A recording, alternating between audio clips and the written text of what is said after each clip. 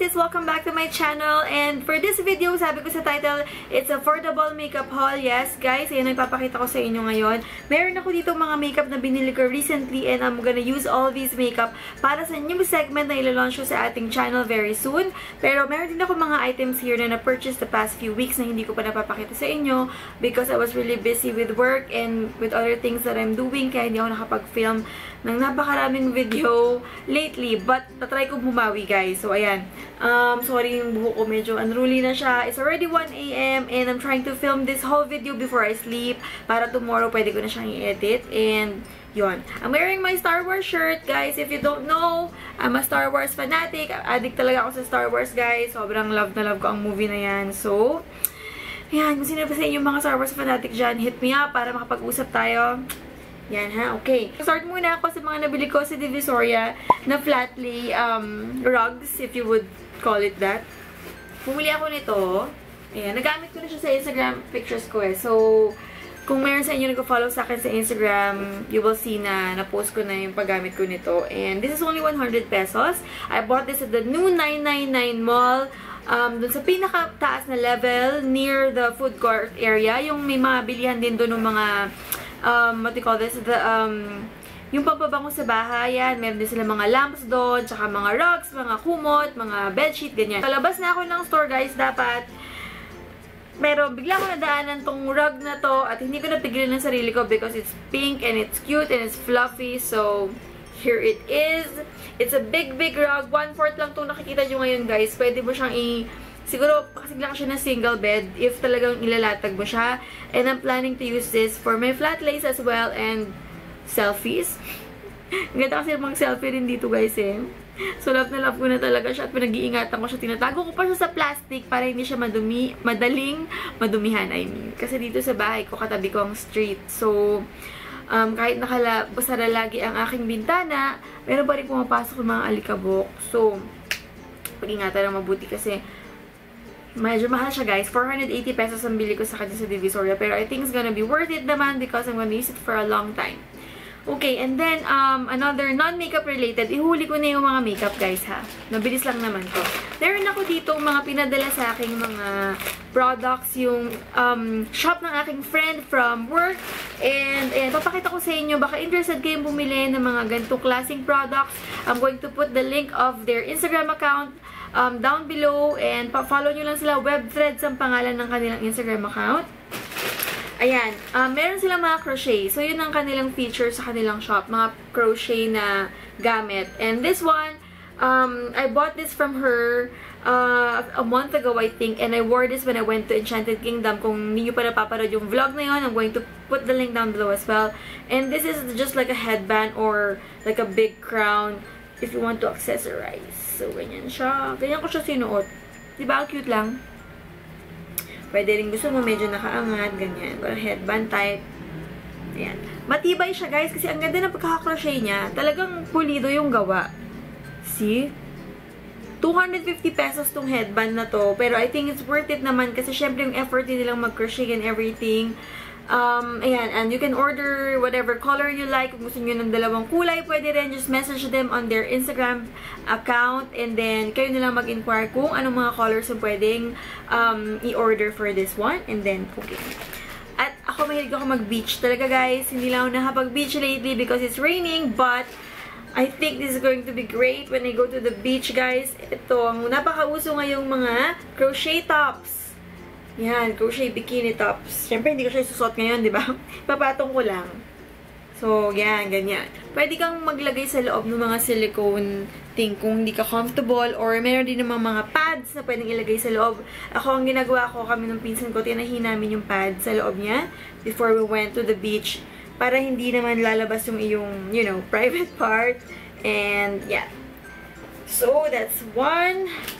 Meron din dito. Ganun din. Pang beach din siya, guys. Pero sobrang cute niya. Kasi para siyang off-shoulder Marimar. Oh, Marimar! Ow! Costinita Soy! O, oh, diba? Parang top niya. Tapos, ayan yung likod. Bali, ano siya, pwedeng sikipan. Tapos ito yung front. Parang meron siyang lace detail sa harap. Ayan. And then, ito, ayun. So, this melon top, they're selling for 450 pesos. Ayan. And this white Marimar top na off-shoulder, they're selling for 600 pesos. So, ayan. And then, we have other stuff here. Ayan. It's just a plain um, red headband na parang may ribbon accent sa harap. As, um, katulad ng white na headband na pinakita ko kanina, you can order any color you want. Just, you know, inquire ko ano mga kulay ang available for this one. And this is um, 250 pesos. So, yan. Cute din siya. Ganyan. Mm-hmm, mm-hmm, di ba? Pwede mo din siyang ipasok sa loob if bet mo. Ganyan. Yeah. Ganyan. Pero hindi bagay sa akin ganito eh. Baka manghuhula. Next item that I have here is this cute baby shoes. Guys, kung gano'n siya ka-cute. So, meron kayong mga toddlers dyan. Meron kayong mga babies. Pwede kayong order sa kanila ng mga sapatos na ganito. Tsaka yung parang string lang na tinatali sa paa ng mga babies. This is only 250 pesos. Pwede kayong mamili ng design. May bunny, may um, piglet, ganyan. Marami silang design. So, check out their IG page once again for other designs ng mga sapatos na pang baby. Tapos, meron din tayo dito mga accessories for us, mga girls. Kung mahilig kayong mag-accessorize. Usong-uso ngayon ng mga chokers. So, ayan, they're offering chokers like this one. Mm-hmm. Diba? Hindi ko siya masasuot kasi naka-full t-shirt ako, pero it looks like this. Pasensya na sa nails ko, guys. Alam ko, crooked na naman siya and cracked. Sobrang busy ko talaga. Hindi ko magawa magpalit ng nail polish. Tapos, meron din silang gantong design ng choker, yung may mga pearls sa gitna. Alright. And, meron din silang mga chokers na merong mga pendants. If you prefer that. Ako gusto ko yung heart eh, na pendant. Meron akong ganyang choker. Ito nakalagay love. Mm-hmm. Ayan. Ganyan ang magiging itsura niya. Oh, it's so nice. Tignan natin kung bagay pag sinuot ko. Ay, mukha akong sinakal, guys. Dahil sa t-shirt. Pero, you will see naman. So, ayan siya. Ganyan na itsura niya, guys. Pagsuot mo, ang cute-cute niya, ba diba? Pero hindi lang siya bagay sa suot ko ngayon kasi full-on um, crew neck t-shirt ang suot ko. So, meron may idea lang kayo, ba diba? So, there you go. Meron din tayo dito mga bracelets na crochet din, guys. Napakagaling ng mga gumagawa nito. No? Napaka-detailed. Ako, tinry kong mag-crochet, pero hindi ko tinagalan. Kailangan to, matsasyaga talaga ang gumagawa eh. By the way, guys, yung mga chokers pala na pinakita ko kanina, 170 pesos yan. Meron din ako dito mga bracelet, guys. Like this one. Teal bracelet, na parang meron siyang tassel. Tapos, meron din red niyan. And then, meron din green. And then, meron din itong um, tan-colored bracelet like that. And this is only 60 pesos. So, napakamura nito, guys. ba diba? Parang mini accent lang on your, ano, arms. Teka, tatry kong isuot yung isa. Uh, I think yung mga ganitong klaseng accessories, perfect siya pag nasa beach ka. You can layer it out on your hand. I think it will look nice. Kapag nilayer mo na siya sa kamay mo, di ba? Yung iba-ibang colors. Yan. Tapos, meron din sila ditong isa pang design, pero same price, 60 pesos pa rin siya. Pinatali naman siya, guys. So, ayan. Cute lang siya tignan. Accent. Pwede mo siyang i-mix sa mga gold bangles mo or gold mga bracelets, di ba? Ang ganda niya tignan. Uso yun eh, mga arm party, di ba? Lalagyan mo ng pop of color and then golds and silvers and uh, mga rose gold. So, ayan. For only 60 pesos, you can have this. And then, the last item that they sent me is this Pikachu. Oops, nahulog. Ano ba? Tumataka si Pokemon. Aray ko. Ano ba? Tumataka si Pokemon. Ayan. Uh, they sent me a Pikachu um, keychain. Like this one. Ayan. This is, I think, 250 pesos also. You can ask for other designs, request kayo ng characters na gusto nyo. Kung gusto nyo si Bulbasaur, si Jigglypuff, ganyan.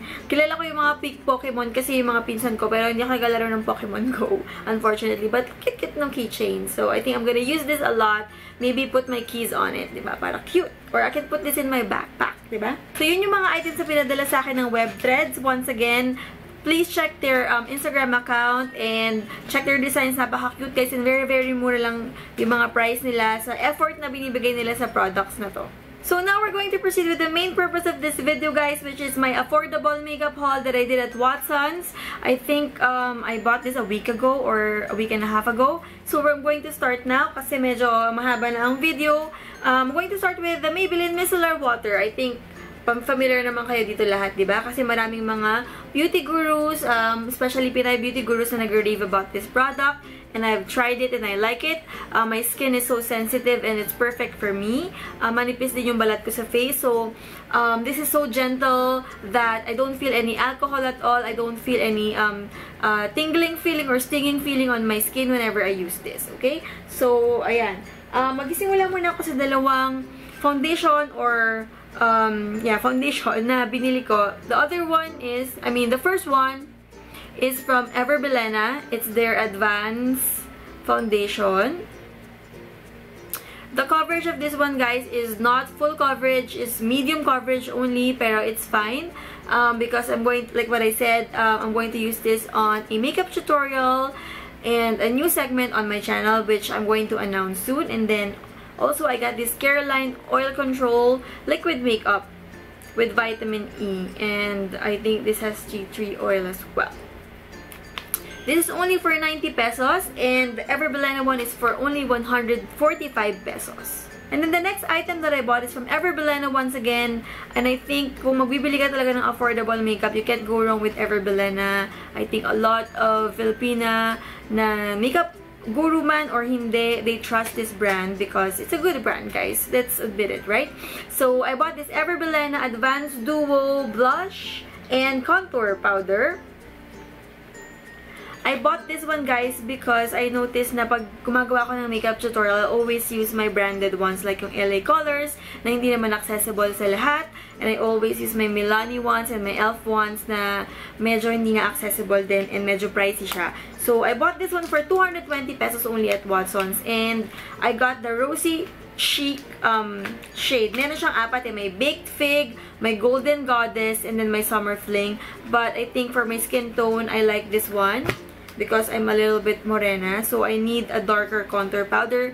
And I want a matte blush. So, this is how it looks like. That's the contour powder, guys. Kahawig na kahawig siya ng contour powder ng LA Colors ko. That's why I bought this. It's coffee colored. Perfect for my skin tone.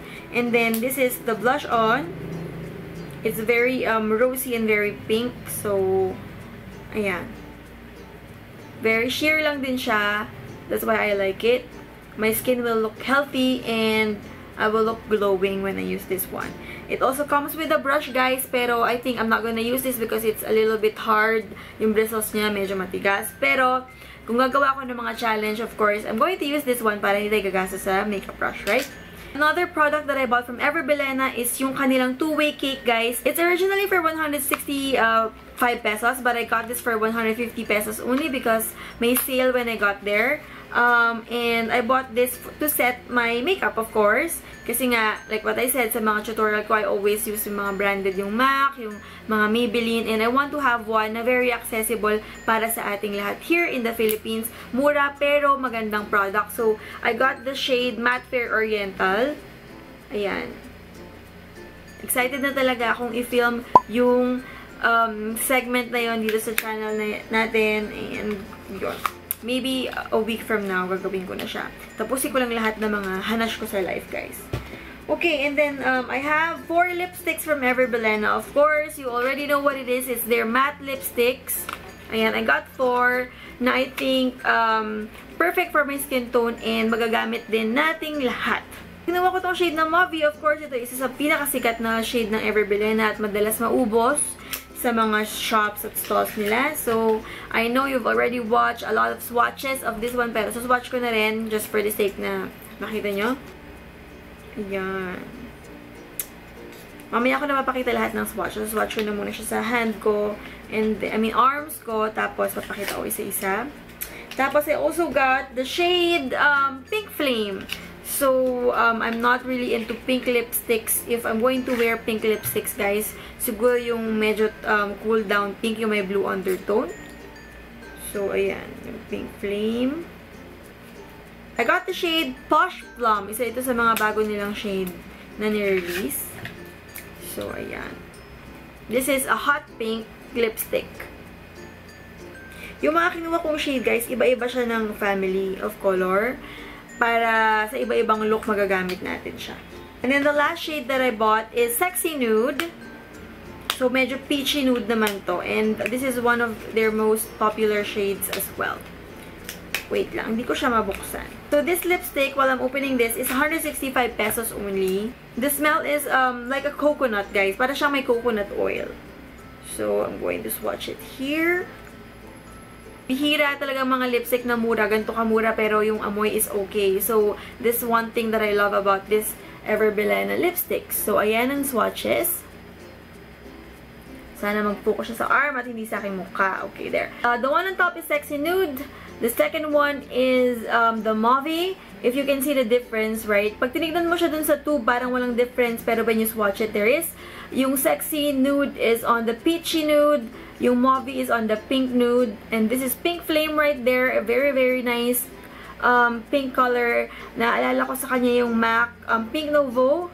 And then, there you go. Ang isa naman is yung Posh Plum. Naalala ko naman sa kanya yung Candy Yum Yum ng MAC. So, those are the four um, Everbelena matte lipsticks that I got. I'm planning to get two more. Siguro yung medyo on the um, brick red color para meron din ako magamit na very, ano, very pangmasa na lipsticks for my looks na gamit ng mga red lipsticks as well. So, the next item that I bought, guys, is from Nichido naman. And it's their Bare Basic Palette. So, ayan, lalabas natin siya. It's only for 138 pesos. Yeah, wait lang. Okay. So, if you can see, this is their palette. Baba ko to para hindi makita yung, ayan. So, this is what the palette looks like. Meron siyang apat na eyeshadow at meron siyang dalawang blush colors. Makakatipid tayo dito because meron ka ng apat na eyeshadow na neutral color which is your everyday color. Anyone can wear it. Any skin tone bagay siya. Tapos yun yung blush on naman niya guys, isang medyo toned down pink at isa namang medyo on the orange or dark coral shade. Hindi siya matte. So, yun, warning lang is kung hindi kayo mahilig sa mga shimmery eyeshadow and blush on, don't get this one because it is shimmery. Isa-swatch ko siya, okay? This is the light one and this is the uh, dark blush na nakita nyo kanina. Tapos, swatch natin yung mga eyeshadow. And yung swatch nung apat na eyeshadow colors nung Nichido Bare Basic Palette. Ang ganda ng kulay niya, guys. You can use this as a highlighter as well, yung pinaka-light na color niya. Ayan, sorry guys, medyo ghetto ang pag-swatch ko ngayon. And yung nails ko ghetto din dahil burug-burug siya. Pagpasensyahan nyo na yan guys. Pero importante naman is, mag-figure out nyo kung gusto nyo yung shade ng nabili ko. And you can get it for yourself if you want to. So, ang masasabi ko dito sa Nichido palette na to is very good for 138 pesos. Napaka-pigmented niya guys. Isang ganun ko lang at sinwatch ko kitang-kita nyo naman. Kumapit agad yung kulay. Pero syempre, ibang usapan kapag in-apply na natin siya sa ating mga mata. Kasi minsan guys, kahit pigmented siya sa pagkakaswatch mo sa iyong arms, pero kapag in-apply mo naman siya sa mata mo, kahit may eyeshadow base, minsan nalulusaw pa rin talaga siya sa sobrang init at kung papawisan ka. So, gagawa ako ng tutorial and review of this palette very soon para ma-figure out nyo kung bet nyong bilhin or not. Ang kinakatakutan ko rin dito guys is yung fallout niya kasi medyo chalky siya. Hindi siya solid. So, kapag ginanon mo siya, medyo may mga fallout siya. So, make sure na poprotektahan mo yung under eye mo, tsaka yung sa baba ng mukha mo while applying this eyeshadow because baka kumalat siya. Okay, we're down to the last item finally, and this is um, the Caroline Free um, Blush On again. Nakakuha na ako nito before, pero nakakuha ko ulit. Kasi if you buy, uh, I think, 300 pesos worth or 450 pesos worth of Everbelena plus Caroline products, you get this for free. So that's it for this video guys. Sana nag-enjoy kayo manood ng mga items na nabili ko um, the past few weeks. And kung meron kayo mga questions, just comment down below or message me. Add me on Instagram, on Twitter, on Snapchat, and, and on my Facebook page. Ano ba yan? Nabubulol na ako guys. Sorry. Pagod na pagod na talaga. But, push lang, di ba? So, yun. Thank you so much for watching mga sis. And don't forget, mahal na mahal ko kayo and God bless you all. Bye!